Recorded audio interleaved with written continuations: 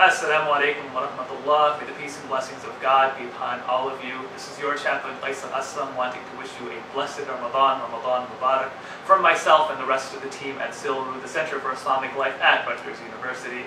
Alhamdulillah, we are now on the eighth day of Ramadan. Ramadan is a month in which Muslims fast, they engage in spiritually uplifting activities and self-reflection. And on the eighth day of Ramadan, we start getting into what are called the mid-Ramadan blues, a period of time in which Muslims start recognizing the effects of fasting on them. I know for myself, it's when I start going through caffeine and sugar withdrawals. And it becomes a time where Muslims need to reevaluate their goals that they set at the beginning of their month. Or for some of us, we realize we didn't set any goals at all in the beginning of Ramadan. It becomes that time to establish them in the first place.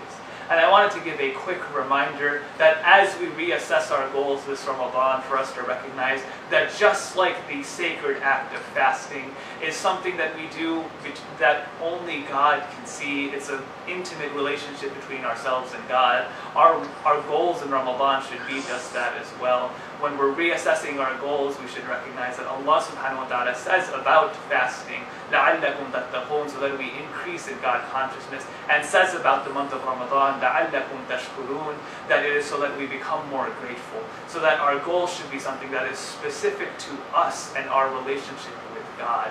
Not something we read in an online post or not something that everyone else is doing, but something that is truly meaningful to us and our relationship with God, us and our ability to show gratitude to people.